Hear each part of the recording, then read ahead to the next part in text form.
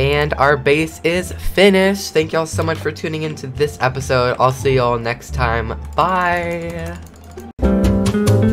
Hey everybody, welcome back to another episode of my Minecraft survival series. So, I did some off-camera work, we've got a couple new things going for us, and everything is going pretty good.